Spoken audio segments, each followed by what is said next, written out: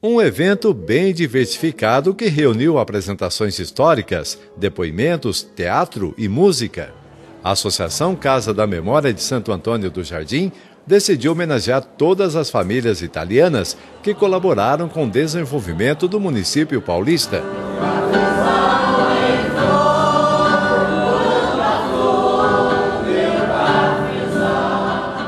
No começo do século XX, cerca de um milhão e meio de italianos vieram para o Brasil em busca de uma vida melhor, trazendo na bagagem poucos bens e muita vontade de trabalhar e crescer. Somente para o estado de São Paulo, o registro é da chegada de 1 milhão e 200 mil, sendo que a maioria se dedicou às fazendas de café. Porque eles vieram da Itália e não tinham nem o que comer. E a, eles procuravam um lugar para se localizar. Aqueles que vieram para Santo Antônio do Jardim eh, vieram para trabalhar na lavoura de café. Aí foram integrados e construíram a cidade. O teatro foi de responsabilidade do grupo Nativos do Palco, que trouxe com muito profissionalismo os momentos mais importantes da história. Os personagens interpretaram a despedida dos italianos, a chegada ao Brasil e a adaptação em terras desconhecidas. Brasil! Nós vamos para a América! América! Sim, América! Podemos ficar ricos! Ricos! Sim, construir castelos! Castelos! Sim, família, alegre-se! Vamos!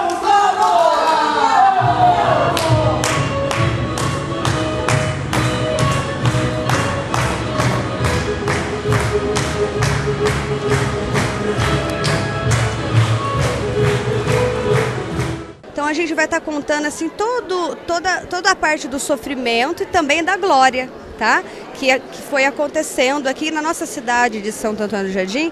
Temos muitos italianos. Então, para mim foi um prazer muito grande estar fazendo essa peça junto também com o pessoal. Eu escrevi, dirigi, mas esse foi um trabalho em conjunto. É uma maravilha, é uma, é uma emoção enorme, até nos ensaios muitas pessoas chorando. Eles foram assistir e eles choraram durante o ensaio. E isso para a gente já era uma emoção muito grande. A exposição de fotos e materiais mostrou a riqueza do acervo da Casa da Memória. Santo Antônio do Jardim tem no registro mais de 100 famílias italianas. Nos últimos seis anos foram feitas entrevistas e intensa pesquisa sobre a colaboração desses imigrantes. Fazem parte dessa história os antepassados do senhor Edivino. Quando meu avô veio da Itália, eles vieram numa fazenda em Pinhal, chamada Fazenda das Palmeiras, e era do doutor Carolino Mota e Silva. Eles ficaram ali, meu avô, minha avó e os filhos que vieram, 90, ah, 25 anos, vendo? Depois ali eles tiveram mais três filhos. Dali resolveram comprar um pedaço de terra e vieram encontrar um pedaço de terra em Santo Antônio do Jardim, no, na divisa com a, a cachoeira do Jaguari Mirim, que existe pedaço até hoje lá. Nesse evento repleto de cultura, também encontramos a senhora Maria Aparecida. Ela nos contou que sua família tem ligação com Andradas e também contribuiu com o desenvolvimento da região. Eu sou descendente da família Guido e o meu bisavô, quando veio da Itália, na época de 1876, ele veio direto para cá e se casou em Andradas em 1880. Quem celebrou o casamento dele foi o padre Mariano Garzo. E daí ele veio para cá, ele se casou com a neta do poceiro de Santo Antônio do Jardim e eles vieram, fixaram a residência aqui, onde os Guido todos estão aqui. Nós fizemos um levantamento da família agora, sem contar as crianças. Nós estamos com mais de 600 pessoas na família, todos descendentes do João italiano, que o nome dele era Giovanni Francesco Guida.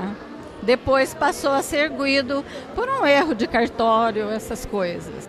A Associação Casa da Memória lembrou ainda que 25 de junho foi o Dia do Imigrante. Todos os participantes do evento gostaram da iniciativa. é preciso manter a história viva e valorizar cada um que faz parte dela.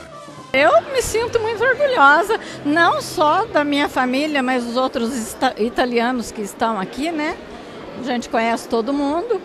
Eu nasci, me criei aqui, minha mãe, meu avô, então a família toda é daqui e a gente se sente muito orgulhosa, né? Nós não esperávamos que tivesse tal acolhida, né?